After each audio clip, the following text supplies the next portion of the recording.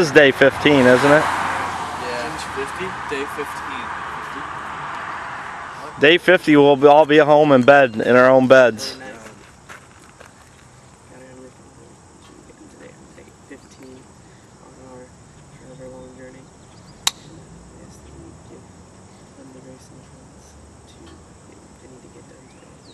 All right. Uh, yesterday we uh, got a flat in the in the cool truck with the dubs, and um, yeah, it happened right there. You see that black mark on the curb? Yeah, that's where it happened. It pinched the tire, and it was just like, and we got a flat. That's how it happens here in old Pennsylvania. Pittsburgh.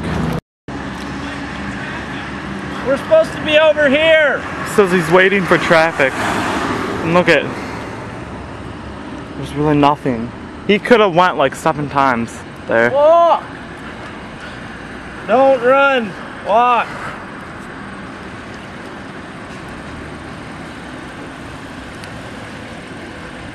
Go! Hurry, skinny boy.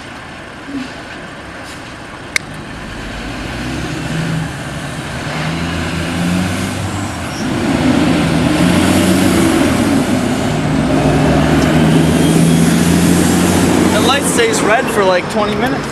I mean, green. Oh, this is some of the stuff we have to go through walking on bridges in Pittsburgh. It's kind of bad. Let's just take a look. Oh, oh, Hello, hello, hello. is there anybody down there? I think a What you home. I think a homeless man lives in there. Like if you weren't if you weren't looking, this is kind of bad. You just over that. On the side. And a little sore from the rubbish. Rubbish. Oh, stuff you put in the garbage can. That's rubbish. Oh, okay, rubbish. What's it say? Kill Bush now.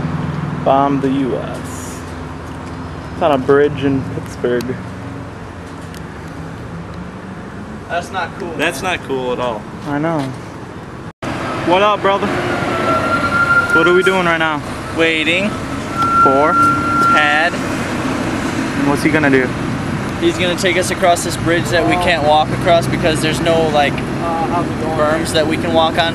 So we would get hit and die. And we don't want to do that now, do we? Okay. All right. When you merged, did they put my little